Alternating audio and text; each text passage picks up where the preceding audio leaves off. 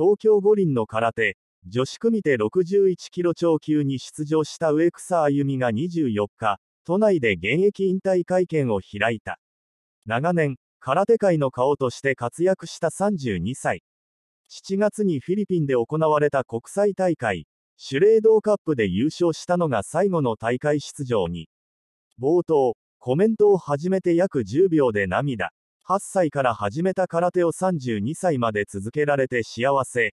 などと語り、24年間の競技生活に別れを告げた。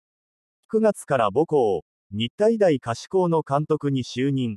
雑誌、ラファーファのモデルも務めるという。画像、かわいい、ゴージャス、ゴールドの振袖姿を披露した植草あゆみのプライベートショット。黒のジャケットを着用して報道陣の前に姿を見せた植草。冒頭、今日何を話すか何度も考えたが、いろんなことが思い浮かんだ、と話し始めたが、約10秒ほどが経過したところで涙。8歳から始めた空手を32歳まで続けられて幸せ。引退の実感はなかったし、何度も空手をやめたいと思う機会はたくさんあったが、大きな怪我なく競技を続けられて嬉しい、と振り返った。小学3年生で空手を始めた植草は、全日本選手権で2015年から女子組手単独最多となる4連覇を達成。16年の世界選手権で初優勝したほか、18年からの五輪予選シリーズ12大会で3度の優勝、7度のメダル獲得を果たした。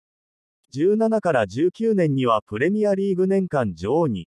金メダル獲得が期待された2021年の東京五輪では7位だったが、その後もプレミアリーグで4度目の年間王者となるなど活躍。今年5月に引退を表明していた。引退を決断するまでのいきさつについては、モチベーションがなくなってしまった、と説明。パリ五輪で空手が正式種目から外れたが、東京五輪の次の五輪で空手がないとなった時、どのような道を進んでいくか考えた、と当時を振り返った。東京五輪後も国際大会で優勝するなど成果を残してきたが、今年1月にパリでの大会に出場した際について、試合前に緊張もしなかったし、試合後も次の試合に向けて心が湧き立たなくなった。競技を続けるのは難しいと思い、日本代表の選考も辞退させていただいた、と話した。まだ空手が東京五輪での実施種目に決まる前から、注目を浴びる存在だった。メディアから、空手界のキャリーパミュパミュの愛称も付けられるほどの人気に。五輪正式種目入りへの機運を高め、空手界を盛り上げるため、周囲の期待に応え続けてきた。大学卒業後に引退するつもりだった空手に、24年間も打ち込んできた。今後については、指導を中心にやっていく、と説明。日体大可視校では外部コーチを務めていたが、9月から監督という形で携わっている。競技を辞めてからの目標は、自分の生徒で日本一を作ること。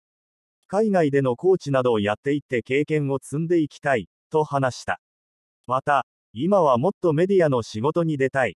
もしよかったら、私をメディアで使ってください、と笑顔も見せた。今後は雑誌、ラファーファのモデルも務めるという。ぽっちゃり女子のための本格ファッション誌で、渡辺直美らも登場している。体がふくよかな方のモデル。自分も、競技をしている時から難しかった。